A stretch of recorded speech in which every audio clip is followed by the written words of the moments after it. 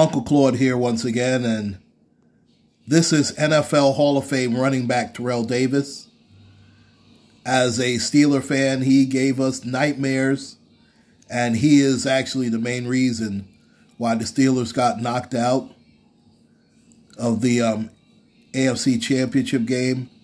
And that was Kordell Stewart's first year as a starting quarterback in the NFL. And we were one game away from the Super Bowl, and Terrell Davis ran roughshod over our defense and beat us.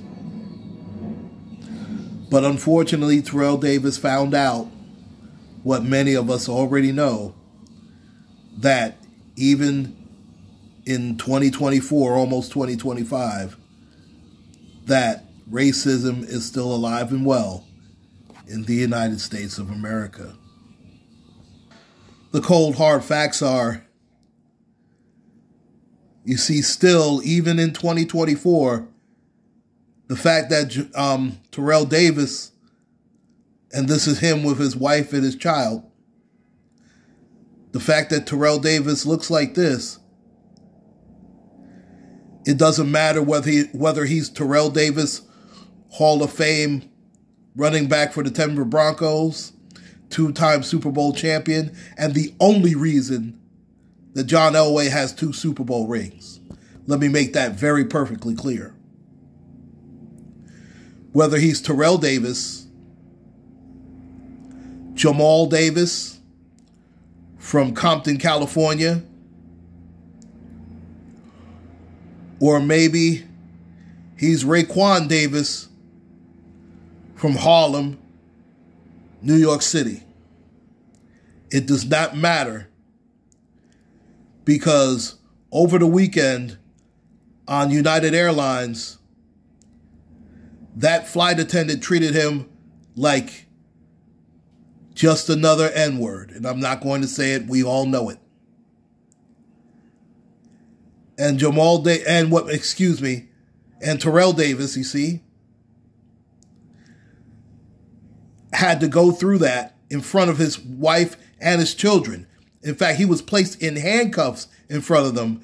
So you can imagine that how traumatized he was. Because let's face it,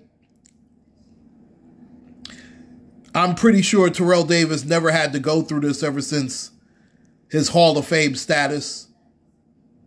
I don't know what he went through as a young man. I'm pretty sure he went through everything that that most of us have gone through. But he but unfortunately he thought he was immune to that because he was he is Terrell Davis, excuse me. But unfortunately, he got his N-word moment. And he is doing the right thing, and I hope that he sues the pants off of United Airlines and that clown should the clown flight attendant should never have another job ever again.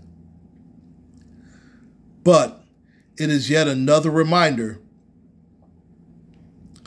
that it doesn't matter here whether you have a PhD, whether you're a Hall of Famer, whether you're a superstar, let's say like a Michael Jackson. We saw how Michael Jackson was treated here. It just doesn't matter.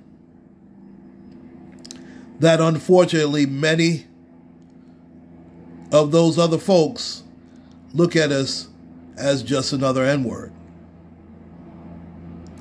Just another reminder that, as Kendrick Lamar so eloquently put it, they not like us. Make sure to like, share, and subscribe, ladies and gentlemen. Uncle Claude signing out. Take care, stay safe, and God bless.